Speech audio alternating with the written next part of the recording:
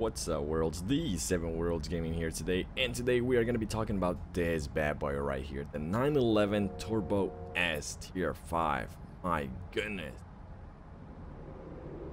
I would have to say this one, oh man, this one is a good contender, with, between the 918, I think that I like, I like this one better to be honest, I don't know why, it just looks, it just looks so good. Anyways, what, I, what we're going to be talking about in this video is how you can get this and also how you might be able to join my crew.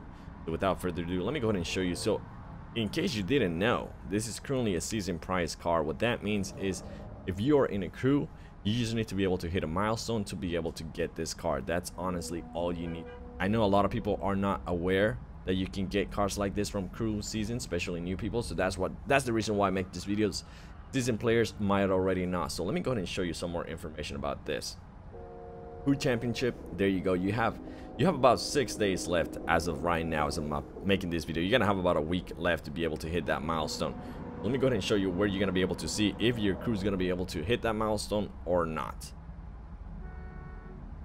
Alright, from here, from the garage, you're just gonna pretty much go into the crew hangout. Now, once you're in the crew hangout, it's either gonna show this screen, or if not, it's probably gonna go ahead and just show you this screen right here. What you need to do is just, on the bottom left hand side, you need to go into crew championship and from there you're just gonna scroll up. Make sure that you have the milestones set up and you're just gonna scroll all the way up to the top where it has 20 million right there. If you do have a claim thing or if you're at least close like my crew is make sure to go ahead and claim it. As you can see right here I haven't claimed any of my stuff yet because I usually like to wait until I get everything.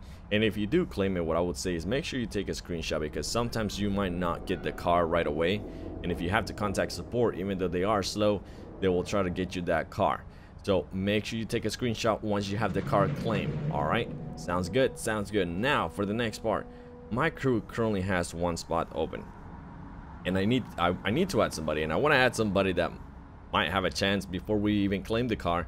That way you have a chance at getting the 911. So what we're going to be doing here is if you can hit more than 1 million RP per, per season, per crew season, what you need to do is don't leave your crew just yet send me a picture on my Twitter or Facebook.